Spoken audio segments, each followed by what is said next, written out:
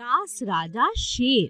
एक दिन राजा शेर का मंत्री भालू जंगल में घोषणा करता है। सुनो सुनो सुनो, राजा शेर बहुत दिनों से उदास हैं। जो कोई भी राजा जी को हंसाएगा, उसे बड़ा इनाम दिया जाएगा। आप सभी का स्वागत है। आइए और हमारे राजा को हंसाइए। ये बात जंगल में आग की तरह फैल गई।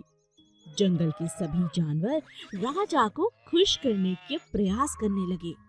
सबसे पहले एक हाथी उन्हें खुश करने की कोशिश करता है।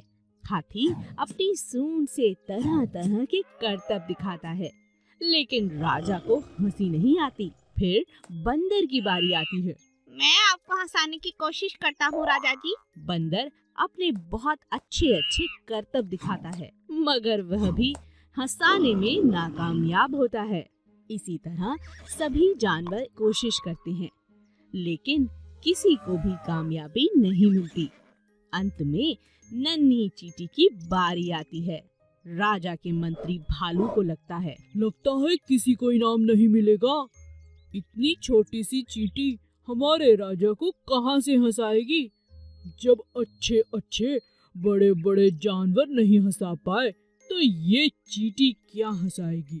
तभी चींटी गुस्से में लाल होकर राजा के नज़दीक आती है और कहती है, देखिए राजा जी, बहुत हो चुका। मैं आ रही हूँ आपके पेट पर गुदगुदी करने। आपको तो फिर हंसना ही होगा। अपनी तरफ़ गुस्से में चीटी को आता देख राजा की हँसी निकल पड़ी। राजा को हंसता देख सभी जानवर हंसने लगे और नाचने लगे। चीटी को भी राजा ने बहुत सुंदर इनाम दिया।